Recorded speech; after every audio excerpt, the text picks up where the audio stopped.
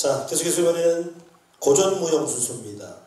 성주풀이 음악에 맞춰서 김영란, 황기분 두 분이 나옵니다. 박수로 환영해 주십시오.